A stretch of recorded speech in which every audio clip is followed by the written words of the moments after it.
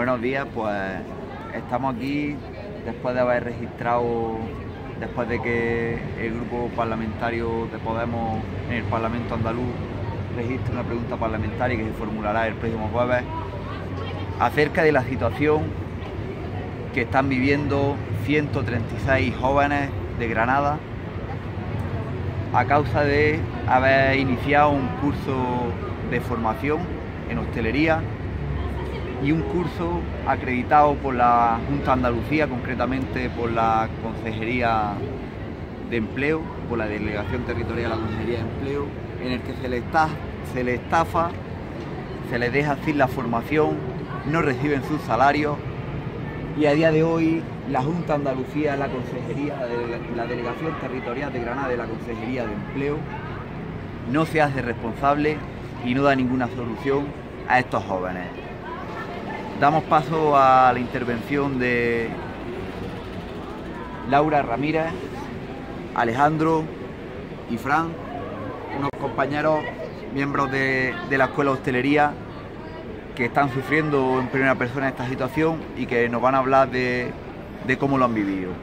Bueno, nosotros desde el primer momento eh, estuvimos con muchísimas ganas de poder entrar en un curso porque era una oportunidad bastante grande de, poder empezar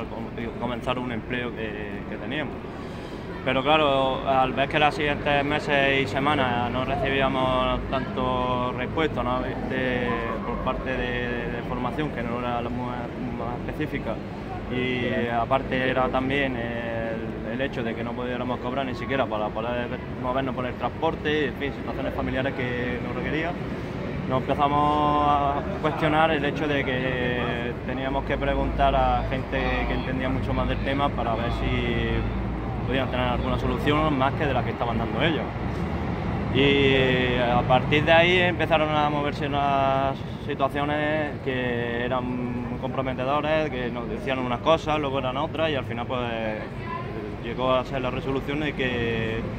teníamos que abandonar el curso. Entonces nosotros nos veíamos que todo lo que son el tiempo que había, y la dedicación que habíamos tenido pues se empezaron a, truncar y, en el momento que nos, echaron de allí. Claro, nosotros nos vimos en el primer momento que, no teníamos nada, que no, habíamos cobrado nada, llevábamos a 5 más 6 y medio, 6 y la verdad que para mí fue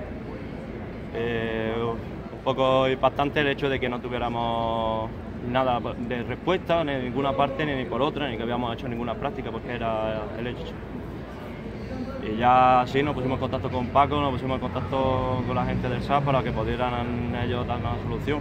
Y ahí seguimos nosotros en, la lucha, a ver si podemos encontrar alguna solución. Ha habido gente que ha estado pagando este curso y no le han dado el certificado oficial, que le han dado un certificado que no sirve para nada. Entonces, ¿qué cuestión es esa? Él haciendo el curso, pagando y tampoco no sirve de nada y nos daban larga a pagarnos y todo eso. Entonces no sirvió de nada hacer este curso. Mucho prometes, pero poco hacer, ¿no? Estamos viendo una vez más que la Junta de Andalucía, y en Granada en particular, pues maltrata a los colectivos precisamente más vulnerables. Lo hemos visto con el, transporte de, menores discapacitados, de educación especial, y lo estamos viendo también en este caso con un colectivo de más de 130 trabajadores que son jóvenes en riesgo de exclusión social a los que se debería eh, dar una especial protección y tratarlos con especial esmero y se hace todo lo contrario. La, Junta subcontrata cada vez más cosas, en este caso subcontrata una, una formación que al final no se termina, eh, no se termina con un título y tampoco se le da el salario que se le había prometido. Por tanto, el, jueves vamos a ir a la Comisión de Empleo del Parlamento de Andalucía a preguntarle al consejero qué solución le va a dar a este problema que, venimos arrastrando desde hace ya casi un año en el que lo que pedimos es que se le homologue por lo menos la parte de formación que han hecho estos jóvenes y que se les dé prioridad para que puedan terminar la formación en otros cursos que se puedan desarrollar a partir de ahora. Sabemos que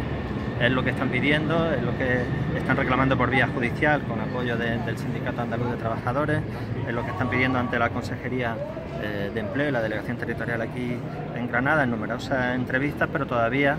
no se le ha dado ninguna solución y creemos que es hora ya de que la, Consejería de Empleo de la Junta de Andalucía pues se tome en serio de una vez a este colectivo de más de 130 jóvenes, como decía, en riesgo de exclusión social, de sobre todo municipios cercanos a Granada y de la propia zona norte de la capital de, Granada. Vamos a exigirle responsabilidades, vamos a pedirle a ver si el consejero el jueves nos da alguna respuesta a este problema. Poco más que añadir, simplemente remarcar dos ideas. Una, que desde esta organización sindical vamos a estar vigilantes sobre cualquier actuación de la propia Academia IFE de Ceilán, que era la parte que se encargaba de llevar a cabo la formación, la, de supervisar la formación laboral, específicamente laboral y remunerada que tenían que recibir estos jóvenes.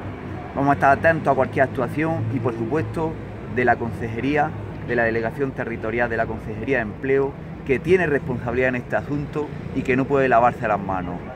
Eso por una parte. Y por otra parte,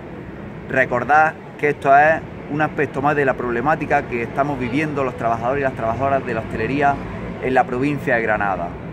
donde a día de hoy tenemos una situación de precariedad insostenible y de la que tampoco quiere hablar las instituciones. En fechas como las que estamos con la Semana Santa a la huerta de la esquina, donde va a vivir de nuevo un crecimiento espectacular de la ocupación hotelera y de la afluencia de turistas a nuestra ciudad y a nuestra provincia, queremos llamar la atención sobre esto. El crecimiento turístico no se puede seguir sosteniendo sobre la explotación y a costa de negar el futuro a 15.000 personas que estamos trabajando ahora mismo en la hostelería y el turismo de Granada. Por todo ello llamamos también, queremos aprovechar para llamar también a una movilización muy importante que va a tener lugar el próximo 8 de abril en Granada y que saldrá a las 11 y media del Palacio de Congreso con dos reivindicaciones muy claras. Una, la firma por fin de un convenio justo para los trabajadores y las trabajadoras de la hostelería y el turismo. Y dos, más importante aún, el cumplimiento tanto del convenio vigente como de cualquier otro que venga. Porque la realidad más triste que estamos viviendo es que las normas básicas de derechos laborales en el ámbito de la hostelería y el turismo, en el sector de la hostelería y el turismo, son papel mojados a día de hoy y eso es responsabilidad de la patronal. Seguimos adelante y en la lucha. Muy bien.